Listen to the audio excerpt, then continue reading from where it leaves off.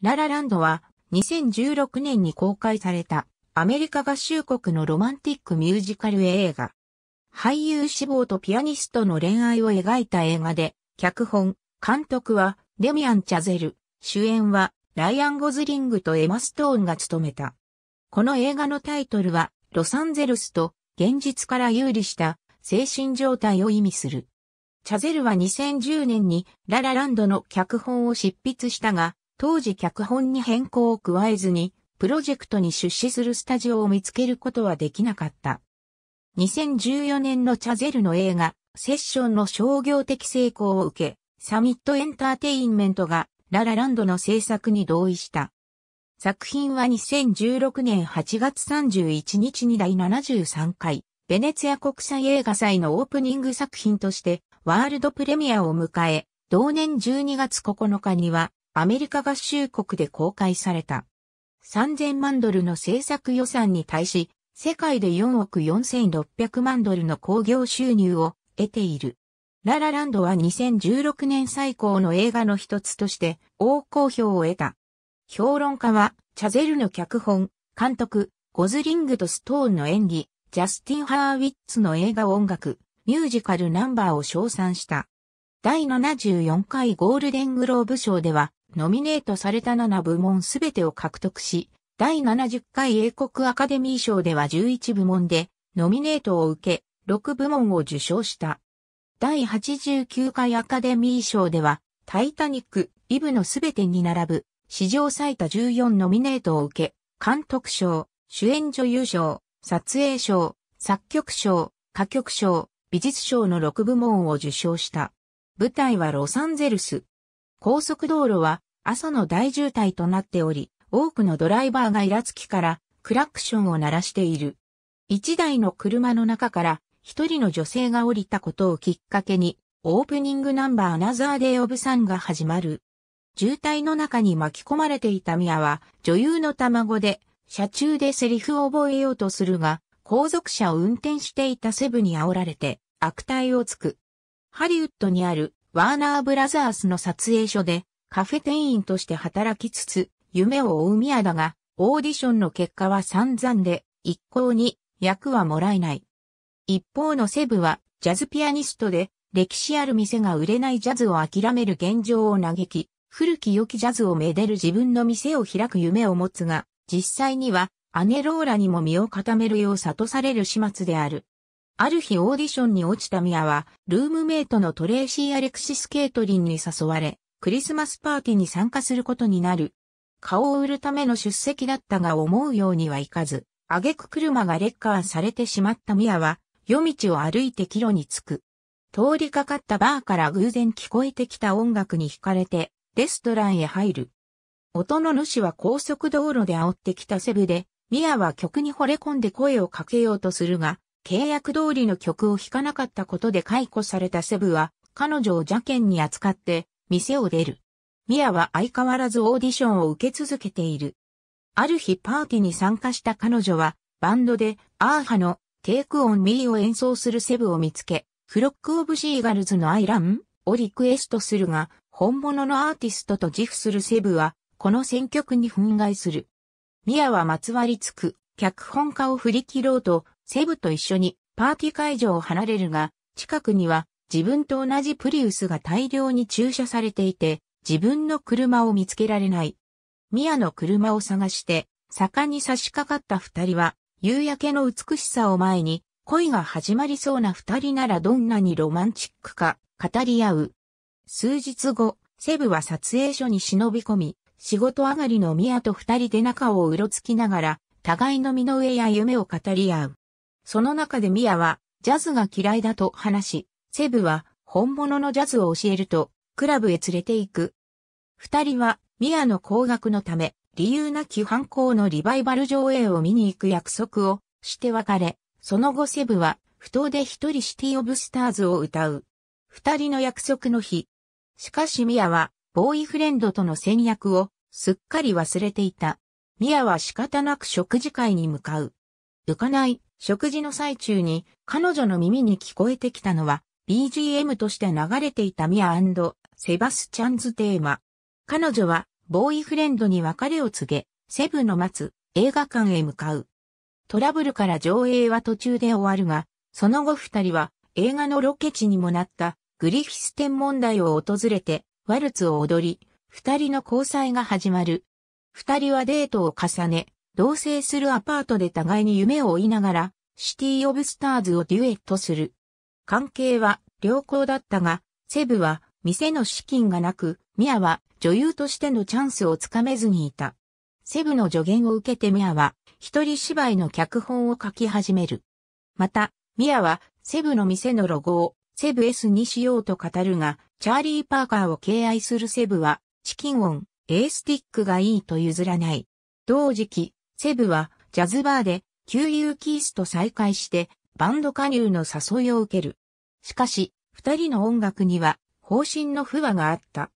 キースのバンドはジャズに、ロックやダンスミュージックなどを融合させた斬新な音楽だったため、古き良きジャズを好むセブは違和感を抱く。キースはジャズを守りたいのなら、まずは聴いてもらわなくてはいけない。セブが敬愛するチャーリー・パーカーやマイルス・デイビスはジャズに革命を起こし、過去を変えた人たちではないのか。それなのにセブは過去に囚われすぎていると語る。キースの考えを否定できず、店の資金のためもあり、バンドへ加入する。ライブを訪れたミアは、バンドの曲スタート、A ファイアがセブの求める音楽ではないと気づくが、バンドは大成功し、二人の生活はすれ違うようになる。セブとキースのバンドはツアーに繰り出し各地を飛び回る生活だが、一方のミアはアパートに残って一人芝居の準備に取り掛かっていた。ある日ミアがアパートに帰ると、彼女を驚かせようと帰ってきたセブがいる。ミアと共に過ごしたいセブはツアーに同行しないか聞くが、公演が目前に迫っているミアはこれを断る。ミアはさらに自分の店を開く夢はどうなったのか、バンドの音楽は本当にやりたい音楽なのかを問いただす。二人は口論になりミアはアパートを飛び出す。ミアの公演当日、セブは忘れていた。雑誌撮影があることを知らされる。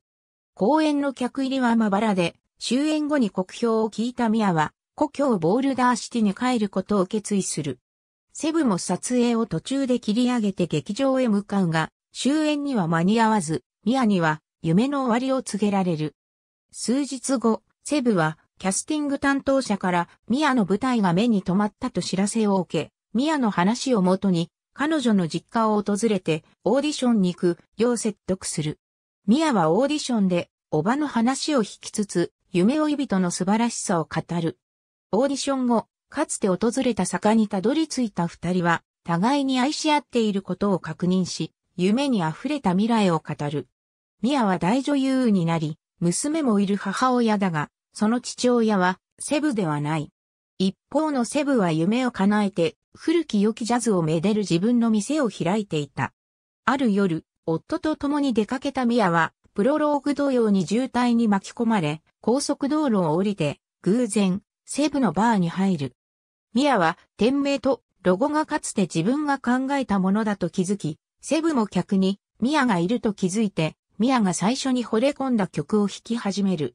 曲の始まりとともに、セブとミアが結ばれていた場合のパラレルワールド的な5年間が映画を振り返る、走馬灯のように描かれる。曲が終わったところで、ミア夫妻は店を出るが、最後に二人は互いの気持ちを理解するように見つめ合いそれぞれの生活に戻っていった。括弧内は日本語吹き替え脚本、監督のデミアン・チャゼルは数々の賞にノミネートを及び受賞している。ドラム奏者でもあるデミアン・チャゼルは熱狂的なミュージカル映画ファンである。2010年、チャゼルはララランドの脚本を書いたが、当時のチャゼルには映画界は手の届かない存在であった。この作品の案はクラシックなミュージカルを踏襲するが、いつもうまくいくわけではない日常生活に根ざしたものであり、ロサンゼルスに夢を持ってやってくる人々へ敬意を表するものとなった。ハーバード大学在学中、チャゼルは同級生のジャスティン・ハーウィッツと共にこの案の映画化を決心した。二人はボストンのジャズミュージシャンについての低予算ミュージカル映画ガイアンドマデリン・オン A パークベンチを卒業制作として制作し、コンセプトを掘り下げた。チャゼルはマンハッタや、これがロシアだなど、ある一つの都市を称える1920年代のシティシンフォニー映画に感銘を受けていた。卒業後の2010年、二人はロサンゼルスに転居して脚本を執筆し続けたが、舞台をボストンからロサンゼルスに移すなど、若干の修正が加えられた。アメリカの他の都市と比較して、ロサンゼルスなら、なおさら地域の歴史に無頓着である。しかし不思議なことに、調べる気になれば、玉ねぎの皮を剥くように少しずつ、本当の姿が見えてくる。ロサンゼルスをパリやサンフランシスコの魅力に合わせようとするのではなく、交通、スプロール現象、そして空など街の特徴に焦点を当てた。この映画の様式は、ジャック・ドゥミのシェルブールの雨傘やロシュフォールの恋人たちの影響を受けている。特に、ロシュフォールでは、ダンスやジャズ関連、そしてそれ以外からも影響を受けている。また作中、踊るニューヨーク、雨に歌えば、バンドワゴンなどのハリウッドのクラシック映画のオマージュ的映像が多数含まれている。また前作、セッションと登場人物やテーマが類似している。チャゼルはどちらもアーティストとして夢と現実の差に悩みを持っている。ララランドはそれに関しての怒りはだいぶ抑えてあると語った。またチャゼルはどちらの作品もハリウッドでの映画制作者としての経験を反映させていると語った。特に、ララランドでは、ショッピングセンターと高速道路だらけというロサンゼルスのイメージを膨らませながら、西海岸に転居した自身の経験を織り込んでいる。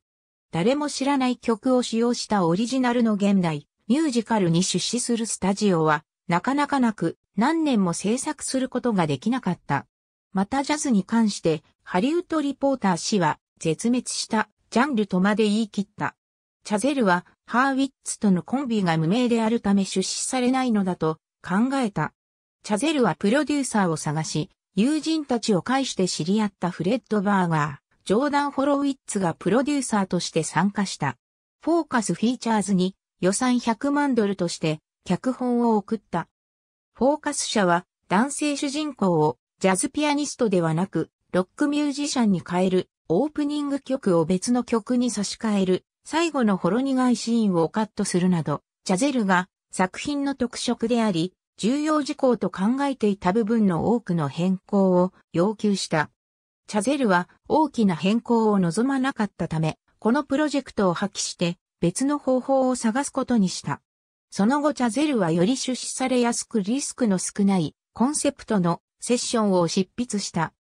2014年1月のサンダンス映画祭で初上映され批評家からの高評価を受け、チャゼルはララランド制作への努力を続けた。一年後、第87回アカデミー賞において、セッションが作品賞を含む5部門にノミネートされ、330万ドルの制作費であったが、世界中で5000万ドルの興行収入を上げ、映画制作会社からチャゼルの次の作品に注目されるようになった。脚本を執筆してから5年後、セッションの批評的、商業的成功に好印象を持ったサミットエンターテインメントとブラックレーベルメディアは、マーク・イー・プラットをプロデューサーに迎え、ララランド制作への出資及び配給に同意した。ステップアップシリーズの制作に関わったライオンズゲートのパトリック・ワックスバーガーは、低予算では高品質ミュージカル映画は制作できないと考えており、ジャゼルに予算を上げるよう進めた。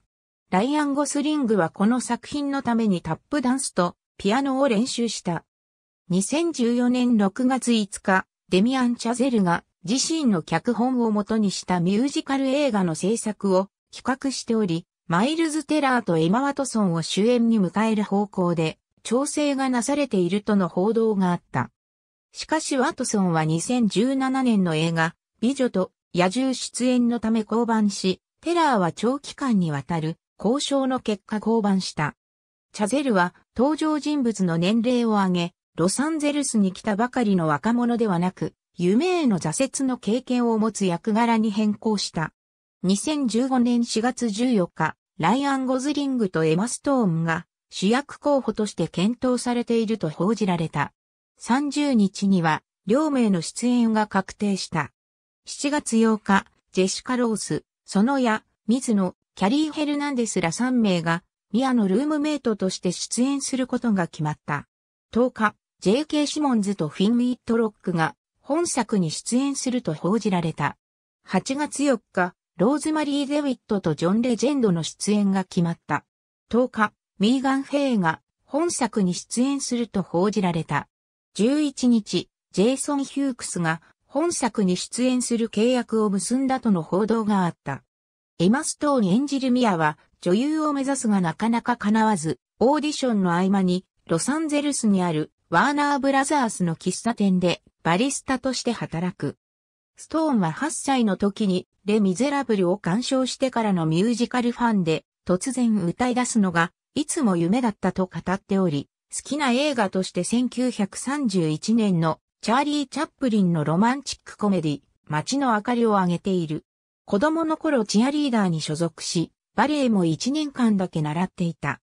15歳で女優を目指して母親と共にハリウッドに転居したが、最初の1年はオーディションに落ち続けて苦悩していた。たとえ役を得ても、セリフは1行だけであった。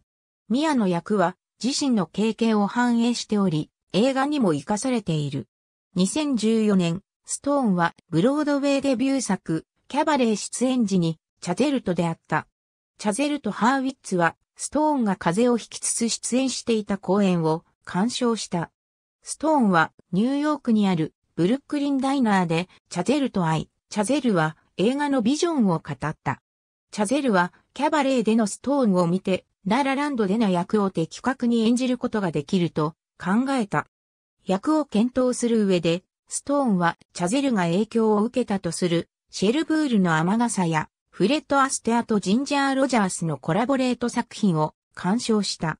ストーンは、チャゼルが作品に大変情熱を持って取り組んでいることに感銘し、正式に役を受けた。シンガーソングライターのジョン・レジェンドは助演として出演しただけでなく、エグゼクティブプロデューサーも務めた。ライアン・ゴスリングが自分のクラブを持つことを夢見ながら生活のためにバーでのカクテルパーティーで演奏するジャズピアニストのセバスチャン役に配役された。ストーンと同様、アーティストを目指した自身の経験を反映させた。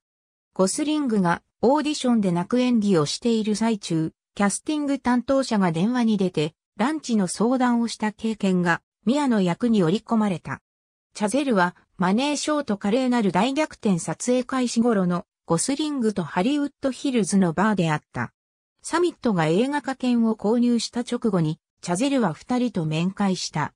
チャゼルは二人について、スペンサー・トレーシーとキャサリン・ヘプバーン、フレッド・アステアとジンジャー・ロジャース、マーナ・ロイとウィリアム・パウエルのような往年のハリウッドカップルのようにしっくり合っていると感じた。ゴスリングとストーンにとってラブ・アゲイン、LA ギャングストーリーに続く3作目の共演となった。チャゼルは二人にオーディションの失敗談を尋ねた。二人はオリジナル曲6曲の歌及びダンスの稽古を受けた。ジョン・レジェンドは後にセバスチャンが加入することとなるバンドメッセンジャーズのリーダーでヒットしているジャズパフォーマーのキース役を演じた。マンディ・ムーアが振り付けを担当した。2015年5月から3から4ヶ月間、アトウォタービレッジにあるプロダクションオフィスでリハーサルが行われた。施設の一室でゴスリングがピアノの練習をし、別室でストーンがムーアとダンスの稽古をし、衣装デザイナーのメアリー・ゾフレスも施設の一角を使用していた。主演のジャズピアニスト役を演じたライアン・ゴズリングは、撮影までの3ヶ月間にわたりピアノ特訓を行い、すべてのシーンを実際に弾いている。ムーアはダンスの技術よりも感情を重要視しており、ストーンはプリウスのシーンで、それが鍵となったと語った。役者及びスタッフのイメージを膨らませるため、毎週金曜夜に、チャゼルは、シェルブールの雨傘、雨に歌えば、トップハット、ブギーナイツなど影響を受けたクラシック映画の上映会を行った。オープニングシーンのロケ地であるジャッジハリー・プレガーソン、IC と星空に浮かぶシーンのロケ地であるグリフィス天問題。チャゼルは1930年代のアステアロジャース作品のように頭からつま先まで映し、カットなしのシングルテイクで撮影することを望んでいた。また、いつも上天気などの1950年代のミュージカル映画のようにワイドスクリーンのシネマスコープを望んでいた。そのためデジタルではなく、ワイドスクリーンのフォーマットでパナビジョンの撮影機材を使用したフィルム撮影を行った。チャゼルはロサンゼルスが非現実的な夢を持った人々によって作り上げられた私的な街であるとして主な撮影をロサンゼルスで行うことを望んだ。2015年8月10日、本作の主要撮影がロサンゼルスで始まり、ダウンタウントロリー、ハリウッドヒルズの住宅街、エンジェルズフライト、コロラドストリート橋、サウスパサデナ、グランドセントラルマーケット、ハモーサビーチ、シャトーマーモントホテル、ワッツタワーなど、ロサンゼルス市内60カ所以上をワンテイクで撮影した。40日間を撮影にかけ、2015年9月、中旬に撮影が終了した。高速道路上で、アナザーデイオブサンを歌い踊る冒頭のシーンが最初に撮影され、スタジオ撮影ではなく、実際にロサンゼルス南部のジャッジハリー・プレガーソン IC の一部を借り切って撮影された。2日間かけ、100名のダンサーが出演して撮影が行われた。チャゼルはこの1シーンだけでロサンゼルスがいかに広大であるかを表現したかった。当初地面の高さの高速道路での撮影が計画されていたが、100フィートの高さに弧を描くインターチェンジでの撮影に変更した。プロダクションデザイナーのデビッド・ワスコは、誰か落ちて死ぬのではないかと心配したと語った。チャゼルは、オズの魔法師でエメラルドシティに向かう黄色のレンガ道をイメージしていた。エンジェルズフライトは2013年に閉鎖されたが、撮影のために1日だけ再開された。チャゼルは1901年創立のトロリーであるエンジェルスフライトなど、まだ残る、あるいは失われゆく古き良きロサンゼルスを探した。このケーブルカーは修復及び再開を目指していたが、叶わず2013年に脱線後廃止された。しかし映画制作チームは1日だけの使用許可を得ることができ、撮影の計画を立てた。ミアはチャゼルがハリウッドの記念碑と考える撮影所近くの喫茶店で働いている。ワスコは多くの作り物の映画ポスターを制作した。時折チャゼルはその映画の題名を考えており、一枚のポスターに1930年代のミュージカル映画として自身の第一作ガイアンドマデリンオン A パークベンチの題名を使用している。6分間に及ぶ A ラブリーナイトのシーンは日没のマジックアワーの短時間に取り終えねばならず、2日間、かけ8テイク撮影した。ストーンはこのシーンの撮影が成功した時について、皆とても盛り上がったと語った。ゴスリングもストーンもミュージカル俳優ではなく、特にシングルテイクの長い曲などで多くの NG を出した。しかしチャゼルは彼らに同情的で、経験が少ないことに理解があり、ミスを全く気にしなかった。セバスチャンとミアの最初のダンスシーンで、ストーンはベンチの後ろでつまずいたが、すぐに立ち上がってそのまま撮影を続けた。約1年かけて、チャゼルは編集技師のトム・クロスと共に編集を行った。映画音楽は、チャゼルのハーバード大学時代の同級生である、ジャスティン・ハーウィッツが、ガイ・アンド・マデリン・オン・ア・パークベンチ、セッションに引き続いて担当した。ジョン・スティーブンス、ハーウィッツ、マリウス・デ・ブリーズ、アンジェリーク・シネルによって作詞された、スタート・ア・ファイアを除いて、ベンジ・パセック、ジャスティン・ポールが作詞を担当した。2016年12月9日にインタースコープ、レコードによって、ハーウィッツの映画音楽とキャストによってパフォーマンスされた歌が収録されたサウンドトラックのアルバムがリリースされた。映画冒頭最初に聞こえてくるチャイコフスキー作曲の祝典序曲1812年はナポレオン失脚のきっかけにもなったフランス軍のロシア遠征を描く機械音楽である。武蔵野音楽大学の学生オーケストラをカール・マーン・ベルケシュが指揮したフンガロトン版が使用され、OST には収録なし。2015年4月、ライオンズゲートからアメリカ合衆国での配給権を獲得したサミットエンターテインメントは、本作の北米公開日を2016年7月15日とした。2016年3月、サミットエンターテインメントは、本作の北米での限定公開日を2016年12月2日に変更し、16日から拡大公開を開始すると発表した。これは第89回アカデミー賞をはじめとする賞レース参戦を念頭においての変更である。アカデミー賞の前哨戦で前線したことを受けて、ライオンズゲートは2017年1月13日から本作を IMAX シアターでも上映すると発表した。日本では2017年2月24日より全国ロードショー公開された。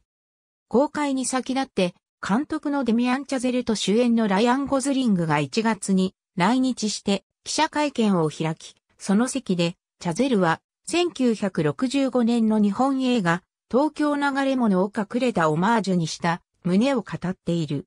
興行収入はおよそ1週間後の同年3月2日に10億円を突破し、この年の公開作品で最速記録となった。第73回ベネツィア国際映画祭で上映された際には極めて高い評価を受けた。デッドライン .com のピート・ハモンドは、我々は困難な時代に生きているが、この映画は鑑賞に値する作品だ。我々を楽しませてくれるし、人間の新しい一面を見せてくれる。観客は生きていることの喜びを味わえる。アメリカのミュージカルの将来を案じている人間は必ず見るべき映画だ。と称賛している。A の BBC は2016年の映画トップ10で本作を1位に選出している。俳優のトム・ハンクスは我々は新しい何か想像もできないものを目にしたとき、こんな素晴らしいものを想像した神に感謝したいと思うでしょう。ララランドのような映画はスタジオにとって好ましいものではないのです。この作品はミュージカル映画であり、観客は登場人物と歌に関してよく知っているわけではないのですから。と本作を高く評価しつつ、興行収入ばかりを気にして、新しい潮流を生み出すような映画を制作しようとしない映画会社を批判した。日本でも多数の著名人が鑑賞後絶賛のコメントを寄せている。一方で、監督の癖が強く反映された作品のため、見る人を選ぶとの声もある。ありがとうございます。